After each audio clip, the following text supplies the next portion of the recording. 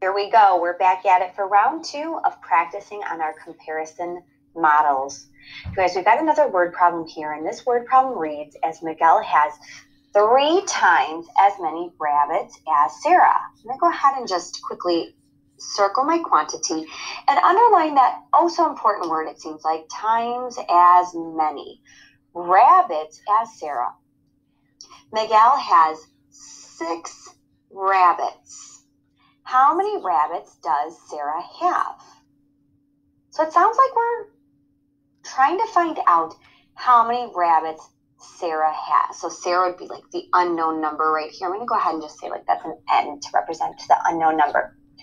So Miguel has three times as many rabbits as Sarah. And Miguel has six rabbits. So we've got two different ways to show our thinking right here in front of us. The first way we can show our thinking is simply by writing an equation. The second way to show our thinking would be to write a comparison sentence. But before we go and do that, I would actually like to go ahead and model our thinking right now.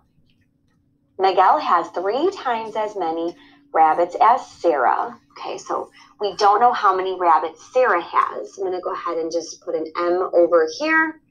And we've got an S for Sarah right here. Miguel has three times as many.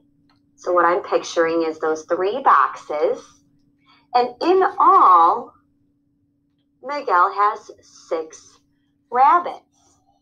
And we don't know N how many rabbits Sarah has.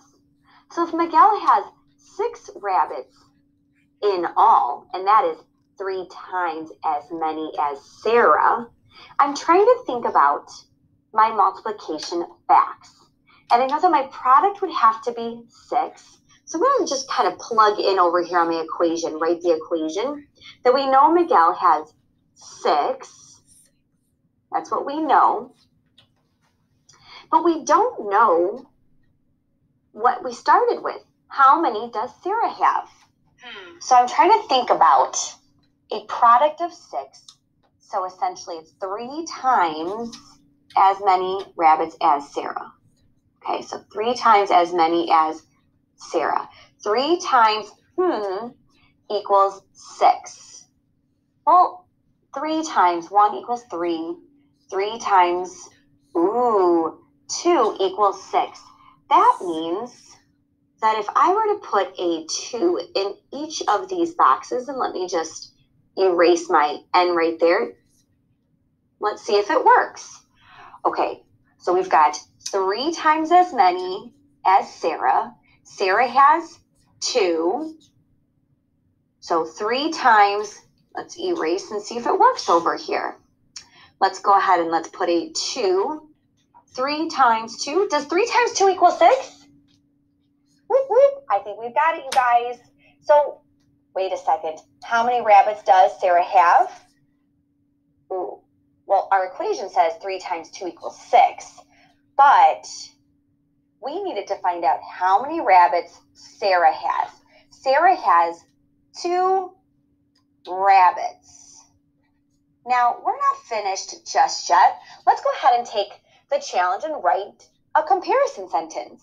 So, hmm times as many as hmm is hmm. Well, I'm going to actually copy our equation and let's see if that works. Three times as many. Ah, look, you guys in the word problem. Times as many as two, you know, as Sarah, and we discovered that she has two, is six. Ahead and we've written an equation, we've written a comparison sentence, and we've solved for an unknown factor. Your job right now is to show your thinking. Don't don't forget to show your thinking and make sure to take a picture and insert it into the slide. You guys are going to rock it. Good luck.